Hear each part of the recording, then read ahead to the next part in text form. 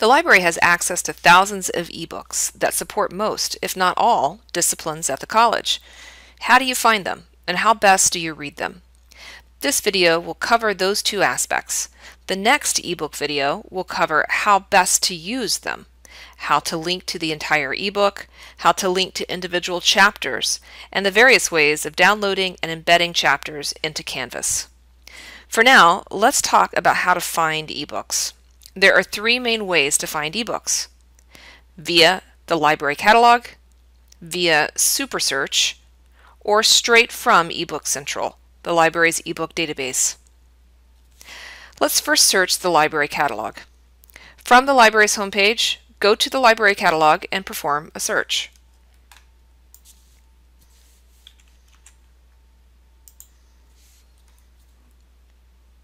Now let's interpret our results.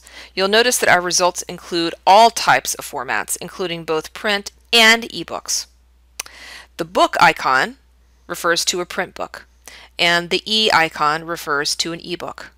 You can limit the type of resource that you're looking at in the left-hand menu by format.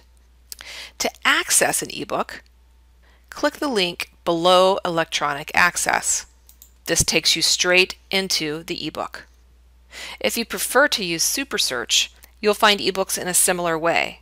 Keep in mind, though, that SuperSearch searches across all library resources, including all of the journal databases that we subscribe to. So more interpretation of results, as well as the limiting of results, may be in order. SuperSearch can be found on the library's homepage. Let's give it a try. Make sure to check the type of resource for each result. And remember, if you need to limit by the format of the resources, you can do so in the left-hand menu. For this search, the top results are all ebooks. Let's choose result number two. You can see that this is an ebook, and the link to the full ebook is right beside it. Click on this, and again, you're taken straight into the ebook.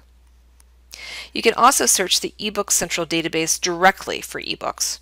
From the library's homepage, go to Research Databases. The list of databases is alphabetical. Choose E and then eBook Central. And from here, you can search for and access ebooks. We've covered how to search for ebooks. Now, what's the best way to read ebooks? Once you've accessed an ebook, you can either read the book online or you can download it to a device. I recommend reading the book online for two reasons. Number one, you'll avoid the cumbersome process of downloading the book. Downloading to a device is an involved process.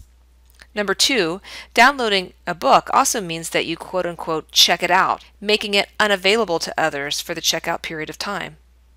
If you read it online, though, the book remains accessible to others simultaneously. Let's go ahead and select one of these books, and let's read this book online. So first of all, we can scroll down and take a look at the table of contents. We can select a chapter that we're interested in. And then we can scroll down and read the book online, page to page, chapter to chapter. You can also browse again the table of contents in the left-hand menu, as well as searching by keyword within the book. And don't forget all of the options in the upper menu. We'll go over some of those options in the next video.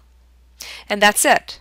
You now know how to search for ebooks and how best to read them. Tune into the next video for more information about how to link to, download, and embed ebooks.